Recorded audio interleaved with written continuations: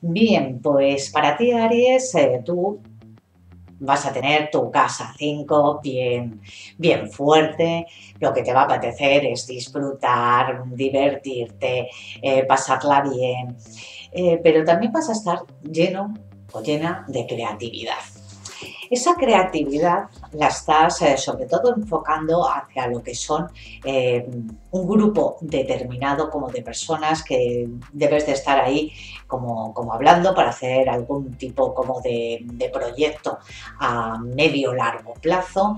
Eh, es algo como que te gusta, es algo como que sí que conecta con, con tu corazón, tu parte espiritual. Es un grupo muy particular de amigos, no cualquiera de tus amigos, sino un grupo como muy en Algo que quieres hacer específicamente.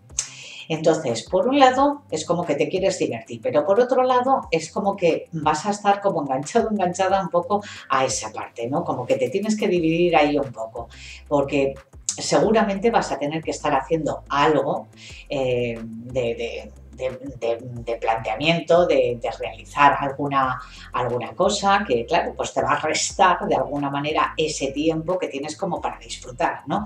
Que a lo mejor tú lo querías disfrutar con tus hijos, si tienes hijos, o, bueno, si tienes por ahí algún interés concreto hacia una persona, pues estás ahí como más... Eh, más enfocado a ver si llamas la atención de esa persona, ¿no?